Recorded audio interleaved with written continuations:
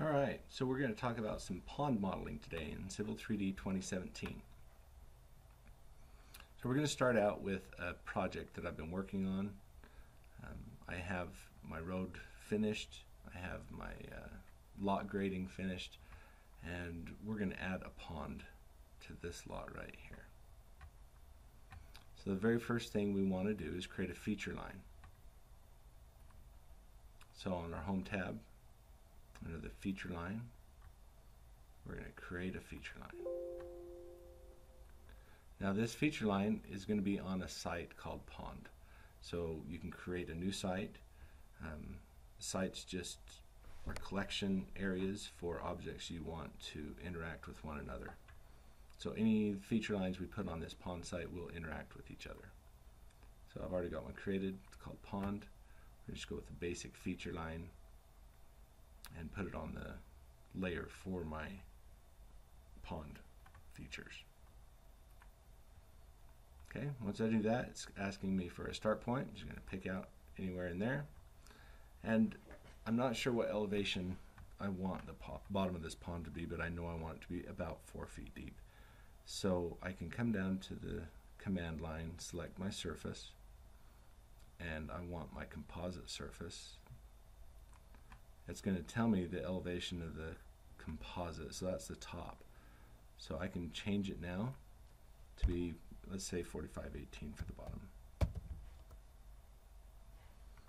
Now I just go ahead and pick points and it doesn't matter a whole lot where I put them because we can modify it easily afterwards. Let's close that. Okay once I, once I have my feature line I'm going to create a grading object so on the Home tab, under my Create Design panel, I have Grading. We're going to go to Grading Creation Tools. Pulls up my little toolbar here, and I down at the bottom you'll see that I don't have a group and I don't have a surface. So I want to set those first off. So I click on this button to set my grading group. And I created one on the site pond called pond. Now with these grading groups, kind of the same idea with a site. Uh, any of the grading objects that are part of this group will react with one another. We're going to do a simple one so it doesn't matter that much, but we're going to just call it pond for our group name. Now we need to select a surface. So I'm going to go with my composite. Okay, now I have my group, I have my surface, and we're going to come over here to the criteria. And I have a bunch of criteria that I've already um, set up, and you can edit the basic ones, you can create your own. I'm going to use this one. It's going to um, target a surface at a 3 to 1 slope. And I'm going to go to my edit just so you can see what that criteria looks like. So I'm targeting surface. I'm projecting cut and fill slopes. It's looking for cuts first.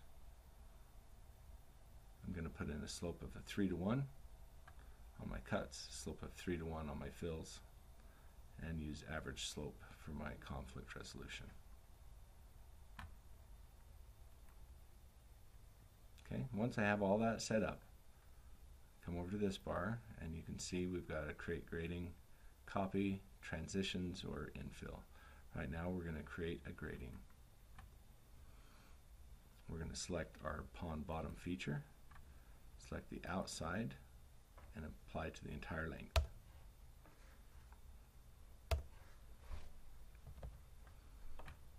Okay, so now I have a grading object and it's projected slopes, looks good.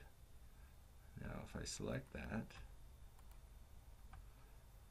and go to my grading group properties, you'll see on the information tab I can make a surface creation automatically with this. So I'm going to select that and just pulls up your surface creation dialog box naming my surface pond 1 in 5 design say OK say OK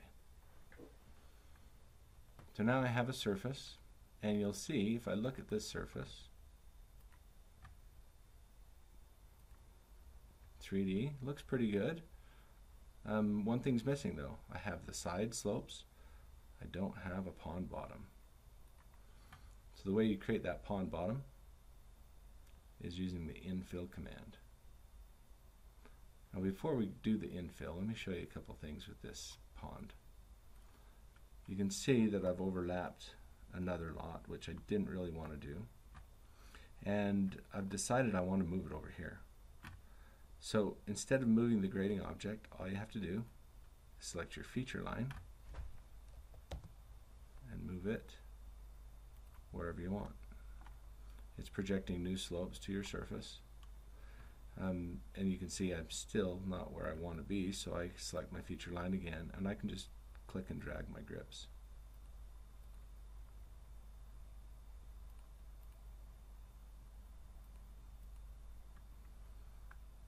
So I just drag them until my slopes are within the lot. And you can play with this a little bit and get it just exactly the way you want it.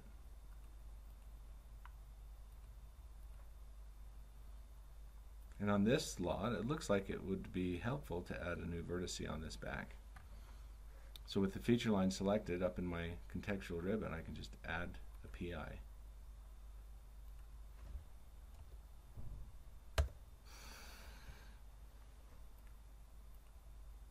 So modifying the grading object is as easy as modifying your feature line, as the grading object is associated with that feature line.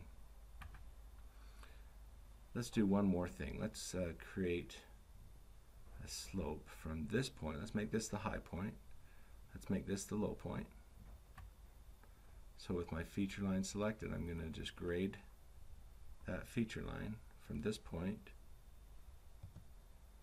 to this point and I'm going to select a grade of negative 0.1. And really I don't want a 0.1, I want 1. So we're going to do this again.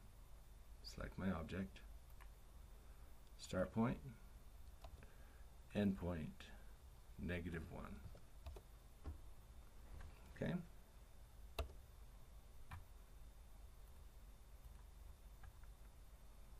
So I have to pull that grip back in, keep my grading within the lot. Now I've got a pond that will slope all the way to the other side. Now this is kind of funny because I've got this at zero, so let's go ahead and just grade this out.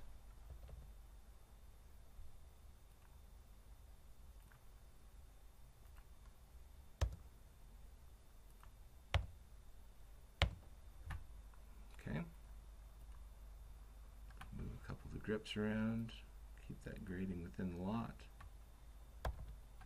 Once I have the grading set the way I want, I'm going to create an infill for the bottom. Just in my grading creation tools, create an infill. Now I have a full surface, and if I look at that surface, you'll see that we have a pond, high point here, low point here and it's graded at a 1%.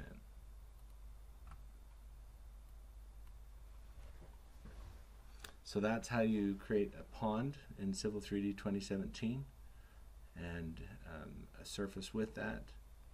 Um, so you can take that surface, you can calculate volumes, you can add it to your composite surface, do a bunch of different things, um, all other grading tools that, that you may know, you may not know. We'll probably be doing some more videos on, on those items. So if you have any questions, just contact me. My contact information will be on a slide at the end of this video. And I hope it helped. Good luck.